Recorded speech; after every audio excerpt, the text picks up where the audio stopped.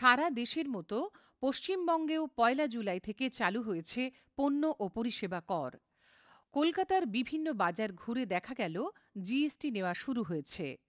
তবে কোন দ্রব্যে কত শতাংশ কর ধার্য হয়েছে তা নিয়ে এখনও কিছুটা ধোঁয়াশা আছে ক্রেতা বিক্রেতার মধ্যে। এখন তো পুরো বোঝা যাচ্ছে না। আস্তে আস্তে বুঝছি। এখনও কিছু টাইম লাগবে পুরো বুঝতে। আস্তে আস্তে সবাইকেই দিতে হবে, কেন কি প্রথমে একটু হ্যাপাজাট রয়েছে। মানুষে অনেক মানুষ বুঝতে পারিনি, কিন্তু আশা করছি খুব তাড়াতাড়ি এটা বুঝতে পারবে। বিধির এক দু মাস সময় লাগবে এটা। আগের আলাদা আলাদা কর ব্যবস্থার বদলে এই অভিন্ন কর ব্যবস্থা নিঃসন্দেহে যুগান্তকারী সিদ্ধান্ত বলে মনে করেন ক্রেতারা। তবে তারা চাইছেন মহিলাদের ব্যবহৃত স্যানিটারি ন্যাপকিন সহ ওষুধ ও অন্যান্য নিত্য প্রয়োজনীয় জিনিসের কর আরও কমানো উচিত। জিএসটি রেটগুলোকে আর একবার দেখা উচিত কেন্দ্রীয় সরকারের। কিছু রেট যেটা আছে আমি বলব যে রিডিউস করা উচিত। যেমন স্যানিটারি ন্যাপকিনস যেটা কিনা প্রত্যেকটি মহিলার আজকের ডেট ইউজ করা উচিত, গ্রামে, গঞ্জে এবং শহরে।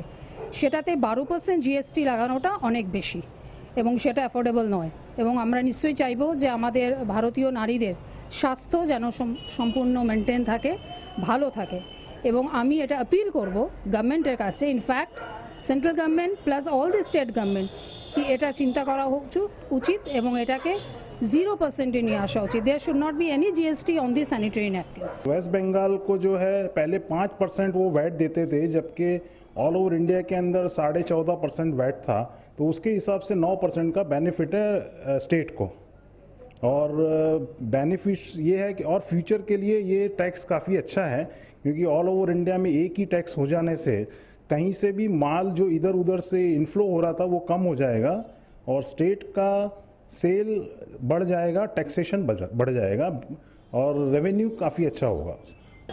ये बेनिफिट है फ्यूचर के लिए अ, आम आदमी के लिए बहुत बेनिफिट है फ्यूचर में बहुत बेनिफिट मिलेगा अभी तो नया नया चीज़ें नया आया है इसलिए लोग का अंदर थोड़ा डर है अभी जैसे डर कम हो जाएगा जैसे तीन चार महीना जाएगा तो सबके लिए सुविधा है বড় দোকানগুলিতে জিএসটি চালু হলেও ফুটপাতে যে হাজার হাজার বিক্রেতা ব্যবসা করেন তারাও কি এই কর ব্যবস্থার মধ্যে পড়বেন তা তারা জানেন না তবে পরিকাঠামো পেলে নতুন নিয়মের আওতায় আসতে তাদের আপত্তি নেই বলে জানালেন বিক্রেতারা। জিএসটি হয়েছে সেটা আমি জানি কিন্তু কি আমাদের ব্যাপারে এখন কিছু বলা হয়নি। আমার তো এই বিজনেস আমরা মার্কেট থেকে হাট থেকে মাল নিয়ে আসি নিয়ে এসে এখানে আমরা বিক্রি করি তো আপনি জানেন যে এরকম জিএসটি দিতে হচ্ছে না সেটা আমরা শুনেছি কিন্তু আমাদের কি লাগবে কি লাগবে না বা আমরা যদি বড়বাজার থেকে মাল আনতে যাই তারা কি চার্জ করবে? সেটা সম্বন্ধে আমাদের কোনো আমাদের অভিজ্ঞতা নেই। পণ্য ও পরিষেবা কর চালু হওয়ার পর কেটে গেছে দশ দিন।